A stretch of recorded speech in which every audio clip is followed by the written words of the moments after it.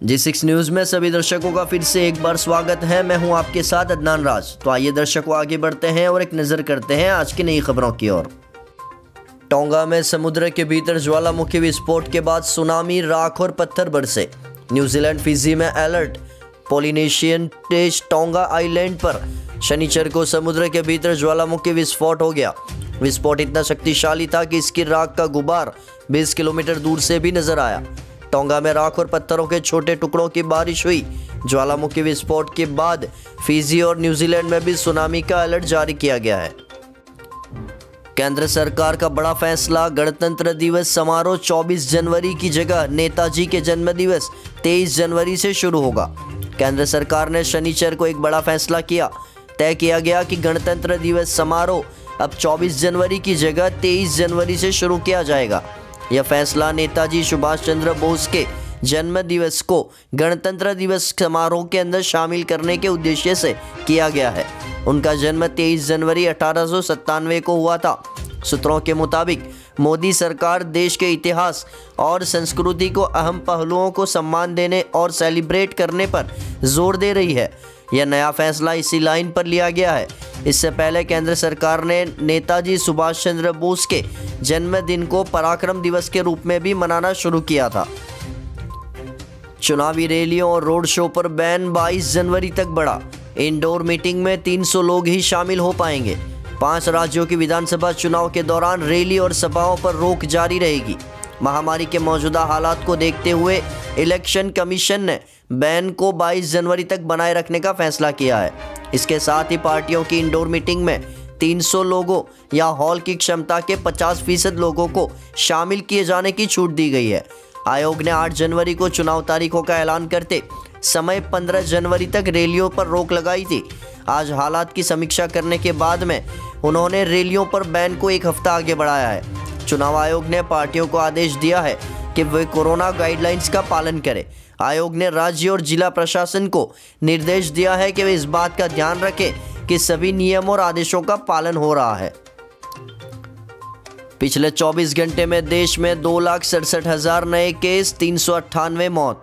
केंद्र की मंजूरी के बावजूद ओडिशा में मोलनू पिरावीर के इस्तेमाल पर रोक लगाई गई। देश में शुक्रवार को दो लाख सड़सठ हज़ार तीन सौ इकतीस नए कोरोना संक्रमित मिले। एक लाख बाईस हज़ार तीन सौ ग्यारह लोग ठीक हुए। जबकि तीन सौ अट्ठानवे लोगों की मौत हो चुकी है। इस तरह एक्टिव केस यानी इलाज करा रहे मरीजों की संख्या में एक लाख चवालीस हज़ार छः सौ बासठ की बढ़ोतरी दर्ज की गई है। फ़िलहाल देश में चौदह लाख दस हज़ार एक्टिव केस हैं। तीसरी लहर में एक्टिव केस पहली बार चौदह लाख के पार पहुँचे हैं। वहीं नए संक्रमितों में महज तीन हज़ार की बढ़ोतरी देखने को मिली है। इससे पहले गुरुवार को दो लाख चौसठ हज़ार लोग संक्रमित मिले थे। देश में अब तक कुल तीन करोड़ अड़सठ लाख लोग संक्रमण की चपेट में आ चुके हैं, जिनमें से तीन करोड़ उनचास लाख लोग रिकवर हो चुके हैं। अब तक चार लाख पचासी हज़ार सात सौ अड़तालीस लोगों की मौत हो चुकी है। कुल एक्टिव केस में 31 दिसंबर को एक लाख और 8 जनवरी को पाँच लाख का आंकड़ा छुआ था। इस लिहाज से केवल 15 दिन में कुल एक्टिव केस 14 गुना हो चुके हैं। आज चौहत्तरवा सेना दिवस है। इस अवसर पर दिल्ली के करियप्पा परेड ग्राउंड में परेड हुई। सेना प्रमुख जनरल मनोज मुकुंद नरवणे ने इसका निरीक्षण किया। वायुसेना प्रमुख air chief marshal V R Chaudhari और नौसेना प्रमुख एडमिरल आर हरि कुमार ने नेशनल वॉर मेमोरियल पर शहीदों को श्रद्धांजलि अर्पित की। इस खास दिन पर पीएम नरेंद्र मोदी और राष्ट्रपति रामनाथ कोविंद ने सेना के शौर्य और पराक्रम को याद किया। सेना प्रमुख जनरल मनोज मुकुंद नरवणे वायुसेना प्रमुख air chief marshal V R Chaudhari और नौसेना प्रमुख एडमिरल आर हरि कुमार ने नेशनल मेमोरियल पर शहीदों को श्रद्धांजलि अर्पित की। पीएम मोदी ने ट्विटर पर चार फ़ोटो शेयर करते हुए भारतीय जवानों को बधाई दी। आर्मी डे के मौके पर राजस्थान के जैसलमेर के अंदर लोंगवाल के पास में भारत पाकिस्तान बॉर्डर पर दुनिया का सबसे लंबा तिरंगा प्रदर्शित किया गया। भाजपा राम मंदिर के नाम पर पूरे यूपी में बनाना चाहती थी माहौल, हार के डर से योगी गोरखपुर पर अड़े। भाजपा ने अपनी पहली ही सूची के साथ में यह घोषणा कर चौंका दिया है कि सीएम योगी आदित्यनाथ गोरखपुर शहर से चुनाव लड़ेंगे। चौंकने की वजह यह है कि अब तक यह लगभग तय माना जा रहा है कि वे अयोध्या से चुनावी रण में उतरेंगे।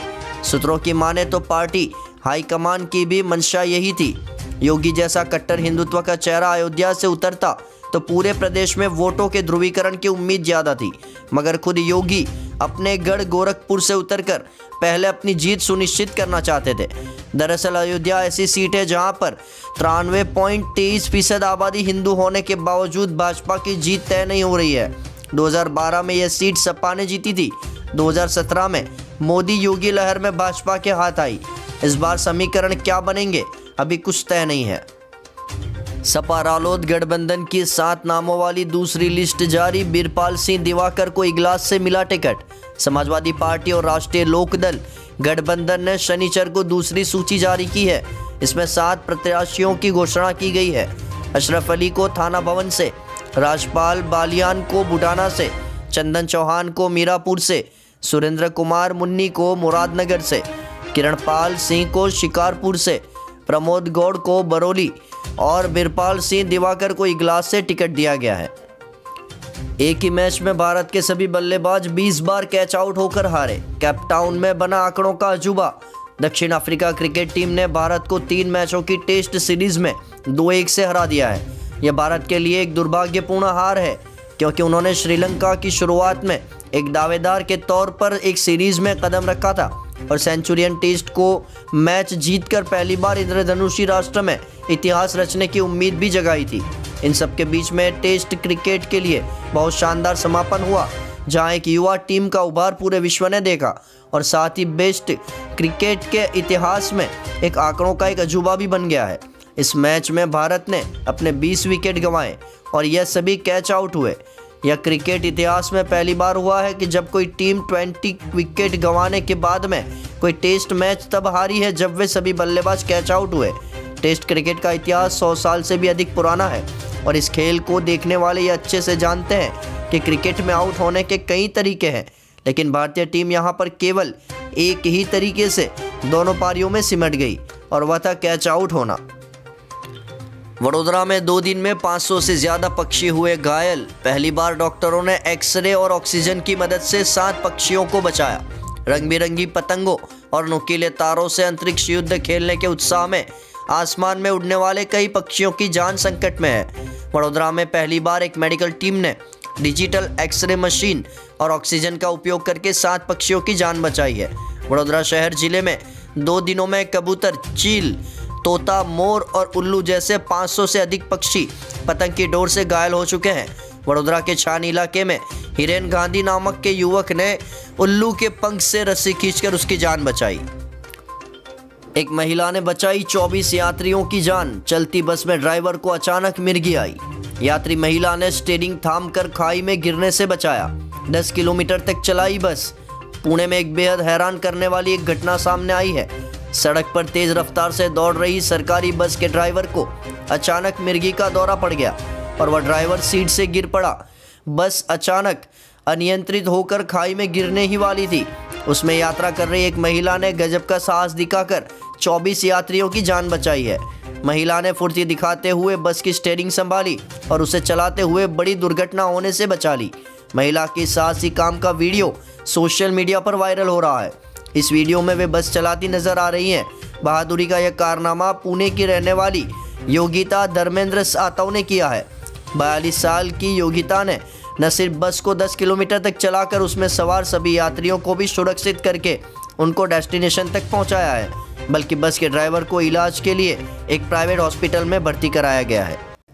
तो दर्शकों, बहुत जल्द मुलाकात होगी दूसरी नई खबरों को लेकर। तब तक के लिए देखते रहिए जी सिक्स न्यूज़।